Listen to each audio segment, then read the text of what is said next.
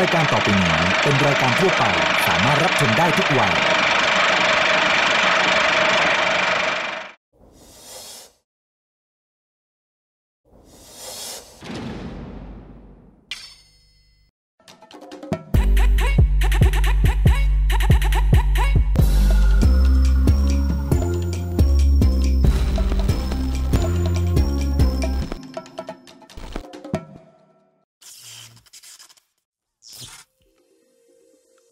นับสนุนโดยผลิตภัณฑ์ผลไม้ฟรุตเบรดและน้ำเชื่อมแต่งกลิ่นตราเนเจอร์เทส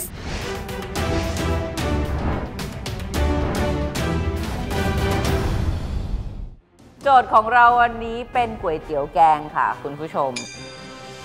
ก๋วยเตี๋ยวแกงเป็นอาหารที่เรียกได้ว่าเป็นอาหารขึ้นชื่อของมุสลิมในประเทศไทยอย่างหนึ่งก็จะเป็นก๋วยเตี๋ยวแล้วก็เป็นน้ำแกงที่เป็นเหมือนคล้ายๆแกงกะหรี่อย่างเงี้ย สวัสดีค่ะ สวัสดีครับ ยินดีต้อนรับเข้าสู่รายการ Food Fighto ศึกครัวเดียวกันค่ะ ทุกวันพุธเวลาบ่ายสามโมงครึ่งทาง Workpoint TV หมายเลข 23 ครับ ผม Food Fighto นะครับ เราจะมีโจทย์มาให้นะครับ แต่ว่าเราไม่ได้มาทำกันเฉยๆนะ เราต้องมีการเป่ายิงฉุบกัน คุณขาด keyword ของรายการ เป็นรายการสานสัมพันธ์ในครอบครัว คือทุกคนรู้อยู่แล้วโอ้มันมันต้องบอกไง อ่าโอเค เราก็ไม่ถนัดจะต้องมาพูดสานสัมพันธ์เพราะทุกครั้งก็โดนเอาเปรียบตลอดตลอดเราต้องเป็นคนทำคนล้างคนเก็บเฮ้ยเล่นใหญ่จังเอาเหรอ ฟู้ดไฟโตะเป็นรายการสารสัมพันธ์ในครอบครัวผ่านการทำอาหารเล็ก ๆ น้อยๆไม่ได้ไงปล่อยผ่านไม่ได้อ่าครับผมเราไม่ปล่อยผ่านนะครับอ่าอ่าเราจะมีโจทย์มาให้แล้วก็เป่ายิงฉุบกันนะครับ ผู้ชนะนะฮะจะเป็นคนสั่งผู้แพ้เนี่ยต้องเป็นคนลงมือทำตามค่ะ แต่ที่น่าสนใจคือโจทย์ของเราในวันนี้ครับ โจทย์ของเราวันนี้เป็นก๋วยเตี๋ยวแกงค่ะ คุณผู้ชม ที่มาที่ไปยังไงบ้างครับ ก๋วยเตี๋ยวแกงเป็นอาหารที่เรียกได้ว่าเป็นอาหารขึ้นชื่อของมุสลิมในประเทศไทยอืมอย่างหนึ่งอะก็จะเป็นก๋วยเตี๋ยวแล้วก็เป็นน้ำแกงที่เป็นเหมือนคล้ายๆแกงกะหรี่อย่างเงี้ยครับ เวลารับประทานก็ส่วนมากก็จะเป็นเนื้อไก่ต้ม อ่าแต่ผมชื่นชอบนะ ส่วนใหญ่จะเป็นแกงเนื้อนะ อ่าใช่ แต่วันนี้เนี่ยก๋วยเตี๋ยวแกงไก่ของเราไม่ธรรมดา ครับ เพราะว่าเราคิดแล้วว่าเราจะเป็นก๋วยเตี๋ยวแกงไก่กรอบ เพิ่มมาอีกหนึ่งพยางนะครับ ไม่ธรรมดาจริง ๆ ครับ เมนูของเรานะฮะก๋วยเตี๋ยวแกงไก่กรอบนะครับอะหวังฉุบไหมครับ คุณดูเหมือนจะช่วยนะ ผมคิดว่าคุณจะเอื้อนเอ่ยนิดนึงเออพริกแกงของเราเด็ดขาดยังไง เส้นของเราเหนียวนุ่มไหมเครื่องเคียงของเราเป็นยังไงคุณไม่พูดเลย เรื่องแบบเนี้ยมันเป็นความชอบส่วนบุคคล อีกแล้วคุณเข้าความชอบส่วนบุคคลอีกแล้วนะฮะอ้าวก็ถ้าเกิดสมมติเราบอกว่ารสนี้อร่อย แต่เทดดี้บอกไม่อร่อยผมชอบเผ็ดกว่านี้ คุณแต่ตอบไม่ตรงคำถามคุณแถมากเลแต่ยหคุณไม่ลักเป็นๆตัแล้ววของตัวเองแต่หลักๆ แล้วเราก็แค่รู้ว่ามันต้องใส่อะไร 1 2 3 4 แบบนี้ป้าบอกว่าอย่ายึดติดกับสูตรเยอะนี่คุณเริ่มอ้างอ้างอ้างอาจารย์ยิ่งศักดิ์แล้วอะนะคมารับหนึ่งสสอองงสาสาม มเป็นแบบนี้นะครับ มาดูเกี่ยวเอ่อก๋วยเตี๋ยวแกงไก่กรอบนะฮะในเวอร์ชันเท็ดดี้สั่งนานาทำกันครับ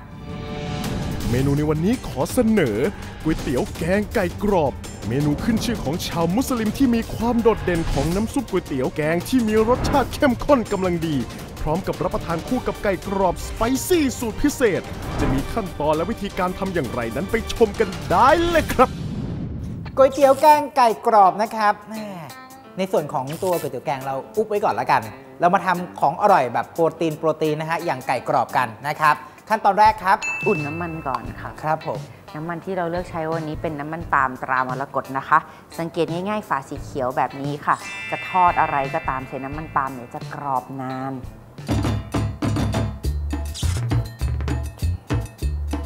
เราอุ่นน้ำมันจนร้อนนะครับ จากนั้นนะครับเราจะมาทำไก่ทอดกันวันนี้เนี่ยเนื้อไก่ที่เราใช้เป็นส่วนสะโพกนะฮะที่เด็ดที่ขาดของเราคือเอากระดูกออกนะฮะเราก็จะได้กินแบบส่วนที่เป็นเนื้อเนื้อหนังๆเลยนะฮะอยากจะอวดนิดนึงก็คือเสียงเขาดูมีความสุขมากตอนความเขาสุพูขดเรื่องนี้เวลาคุณกินไก่แล้วไม่เจอกระดูกนี่เป็นแบบสุดยอดจริงๆนะฮะนี่แบบนี้ให้เขาเลาะมาแบบนี้เลยนะครับคุณก็จะมีหนังกรอบๆเนื้อนุ่มๆฉ่ำๆเมื่อกี้พูดถึงเรื่องกรอบๆนะครับ อันนี้คือทีเด็ดที่ขาดอีกอันหนึ่งเหมือนกันนะฮะ แป้งปรุงรสครบสูตรรสเผ็ดตราโกกินะครับ อันนี้นอกจากกรอบแล้วเนี่ยเขายังมีรสชาติแบบเผ็ดๆ อร่อยๆ ด้วย ก็คือมีเนื้อสัตว์ แล้วก็มีแป้งปรุงรสครบสูตรก็คือจบเลย คุณทำอะไรช่วยจับไงเดี๋ยวผมไม่เห็นนิ้วคุณนะ ไม่เป็นไร คุณยอมนิ้วขาดเหรอ ก็อยู่ข้างบนแล้วไง คุณคงไปตัดทิ้งขึ้นไปข้างบนหรอกปะคุณนานาเขาหวังดีนะครับ คุณเท็ดดี้ทำไมถึงจะใจร้ายกันได้ลงคอเนี่ย เข้าใจนะว่าอยากจะเรียนรู้จากเชฟแต่ว่าอืมได้ อะไรนะคะ เอาละครับ เราใส่แป้งโกกิลงไปนะฮะ อีกหนึ่งเคล็ดลับอันนี้เขาบอกไว้ข้างซองเลยนะฮะ ให้เราผสมกับน้ำเย็นอะอัตราส่วนนะฮะเขามีบอกไว้หมดเลยนะครับ เชฟค่าโต๊ะเลยนะคะเชฟ เดี๋ยวเดี๋ยวเชฟคลีนให้ เอ๊ะเอ๊ะทำไมเรามาถึงจุดนี้นะ แป้งหนึ่งซองกับน้ำเย็น 130ซีซีนะเชฟไปครับชั่งตรงวัดกันได้เชฟเออคลุกยังไงคะ ด้านเดียวสองด้าน สองด้านพี่ครับ ผมต้องกรอบทั้งชิ้น แล้วเวลาเชฟใส่เชฟจะใส่หนังลงไปก่อนหรือใส่เนื้อลงไปก่อนคะส่วนส่วนตัวนะครับพอมันเป็นแป้งเปียกแบบนี้ด้านไหนก็ค่าเท่ากันฮะนี่เป็นไงล่ะเป็นไงล่ะนี่คุณคุณกะจะสวนผม เราต้องเราต้องสลัดไหมคะเชฟคุณอยากได้แป้งแบบหนาๆไหมล่ะ ส่วนตัวนะแป้งโกกิเขาอร่อยคุณชุบเนี่ยแล้วก็บางๆเนี่ยกรอบนอกข้างในฉ่ำๆคุณถามเชฟเนี่ยเชฟตอบได้หมดเลยนะ อืมสุดยอดจริงๆ น้ำมันเนี่ยคือต้องดูให้ดีจริงๆว่าอุณหภูมิเขาได้ พอเราลงทอดปุ๊บเนี่ยแบบนี้เลยนะฮะแล้วก็เวลาทอดก็อย่าทอดหลายชิ้น ทีละหลายๆชิ้น เพราะว่าพอทอดเยอะเนี่ยอุณหภูมิจะตกแล้วทำให้อาหารของเราไม่กรอบใช่ไหมคะเชฟบทดีๆนี่คุณแบ่งไม่ได้เลยใช่ไหมฮะจากนั้นก็นำไก่ที่ชุบแป้งลงไปทอดในน้ำมันจนไก่สุกและมีความกรอบตามที่ต้องการได้เลยครับ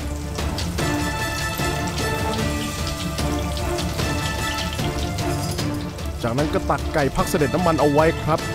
ไก่กรอบของเรานะครับแหม่สีสันดูแบบว่ากรอบจริง กรอบจริงนะฮะ มั่นใจว่าข้างในเนี่ยสุกปุ๊บเนี่ยเราก็ยกขึ้นได้เลยสวยมากอะดูเหลืองทองอร่ามเลยนะฮะถ้าอยากให้กรอบนานๆหน่อยก็เอาไปอบต่อสักครู่หนึ่งก็ได้อ่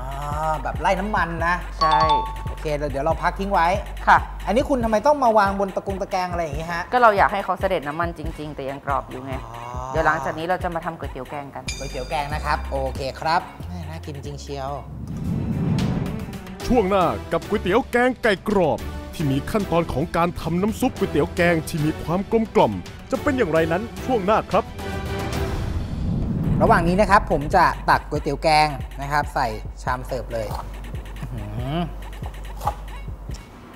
แม่คุณเท็ดดี้นี่ถึงกับตะลึงในความกรอบของไก่จนลืมเสิร์ฟน้ำซุปกันเลยทีเดียวนะครับเนี่ย โอเคครับผมอุ้ยเสียงมันมันละสายตาไม่ได้จริงๆนะทำไมคุณทำคุณทำไก่ทอดซอสก๋วยเตี๋ยวแกงดีกว่าไหมฮะอ๋ออ๋อโอเคครับ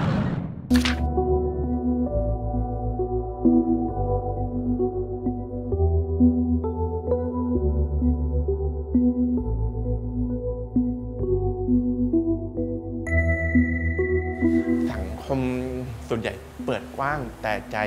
ไม่ไม่เปิดเลย แต่กับใช้ปมดด้อยเพื่อรังแกผู้ที่อ่อนแอเจอผ่านสังคมแบบมีแต่เปิดกว้างแต่ไม่เคยเปิดใจเลยเคยแล้วก็ใช้ปมด้อยด้อยคอยแบบทำลายความรู้สึกที่ไม่ดีกับผมจริง ๆ ผมทำซอสพวกอะโวคาโดอะฮะ คือเป็นซอสที่กินกับพวก poached egg แซลมอนนะครับ ถ้าขนมอะครับเป็นเสิร์ฟพวกพวก vegan pancake แต่อะครับพวก wheat waffle gluten free pancake หรือ gluten free waffle อ๋อผมเคยเรียนมาก่อนนะครับ ที่วิทยาลัยธุรกิจการไทยและนานาชาติครับจำเด็กคนนี้ได้ในวันที่คุณแม่และพี่สาว พาน้องมาสมัครเรียนที่โรงเรียนของเรา แล้วในที่สุดเราก็ตัดสินใจรับน้อง หลายคนก็ถามว่าทำไมรับเด็กพิเศษมาเรียน เขาจะทำงานครัวได้เหรอ เขาจะหยิบมีดได้ไหม เขาจะทำกับข้าวได้ไหม แล้วในที่สุดน้องปันปันก็พิสูจน์ให้ทุกคนเห็นว่า เขาทำได้จริง ๆ และทำได้ดีมาก อาจารย์ยิ่งศักดิ์ว่าสิ่งเดียวที่จะทำให้เขาเหมือนคนอื่น เท่าเทียมคนอื่น แล้วก็เดินตามทันคนอื่นได้ ก็ต้องออกมาพบกับคนอื่นในสังคม อยากให้ทุกๆคนต้อนรับเขานะครับ อยากให้ให้กำลังใจในลูกๆว่าว่าโลกเรานี้เนี่ยมีทั้งคนดีหรือไม่ดีดีนี่เนี่ยต้องเผชิญหน้าหน้าสังคมผมนี้เนี่ยแตกต่างกันยังไง ความเป็นจริงจริงต้องเผชิญหน้าหน้าได้เอาเป็นว่าถ้าหากคุณมีเด็กพิเศษ และคุณไม่รู้ว่าคุณจะวางทางเดินในชีวิตของเขาได้อย่างไรสิบกว่าปีที่อาจารย์ยิ่งศักดิ์นั่งสอนที่นี่ แล้วก็คุกคลีกับเด็กในกลุ่มนี้ ยินดีครับ พร้อมที่จะให้คำแนะนำคุณนะครับ